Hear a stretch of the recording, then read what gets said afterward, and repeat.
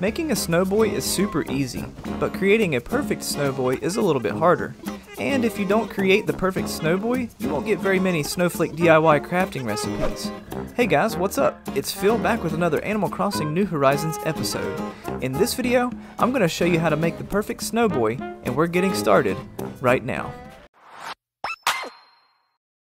During the winter months between December 11th and February 24th for the Northern Hemisphere, or June 11th through August 24th for the Southern Hemisphere, you'll be able to create snowboys using the snowballs found somewhere on your island. Do keep in mind that you'll only see snowballs to roll into snowboys once the ground is completely covered in snow. You can find snowballs in open areas on your island. They will always be on the same layer of your island and fairly close to each other. To make a snowboy, you have to push the two snowballs around, making them grow. And after growing above a certain size, you can roll the snowballs into each other to create a snowboy. As a little side tip, if you break the snowball by accident or drop it into the water, you can always respawn them by entering and exiting a building. You can make snowboys of various sizes of snowballs, but only a perfectly made snowboy will give you a seasonal DIY recipe. You will always get a recipe when you make a snowboy for the first time, regardless of whether you've made them correctly or not. However, the next time you attempt to make a snowboy, you will be judged by how you build him and not get a DIY recipe unless it's a perfect snowboy. In addition, a perfect snowboy will also give you a large snowflake every day until he melts. You'll need these to make the 15 DIY recipes that you can only get from the snowboy. And lastly, a snowboy will stick around for about 4 days while delivering a total of 4 large snowflakes, so be sure to talk to him every single day. So I want to show you the difference between a normal snowboy and a perfect snowboy. To make a basic or non-perfect snowboy, simply roll the two snowballs into each other while not being too concerned with the size of either of them. Once combined, they will build a snowboy and he'll more or less be for display.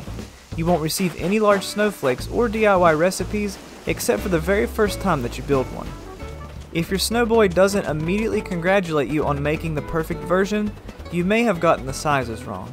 Don't sweat it though because you can simply hard quit the game and immediately try again, but be sure your game isn't auto-saving when you try to do that.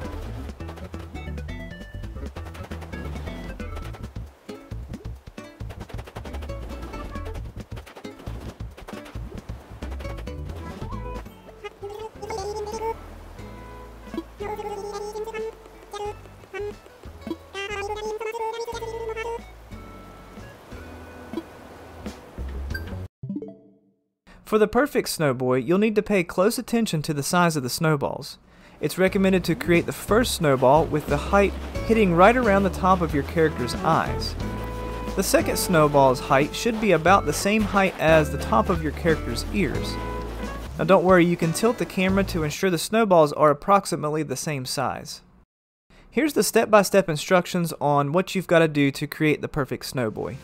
Step number one, you're going to take your two snowballs to an open area of your island. Step number two is that you'll roll one snowball back and forth until it's at the same height as the top of your character's eyes. Step number three is to roll this large snowball to where you want your snowboy to end up. It needs a little bit of space around it since you'll need to be able to talk to him, so just keep that in mind.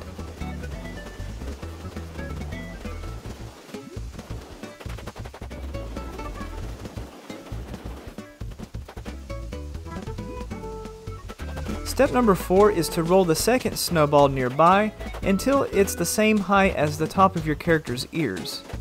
Now remember you can tilt your camera to ensure the snowballs are approximately the same size. Step number 5 is to take the smaller snowball and roll it into the larger snowball to complete your snowboy.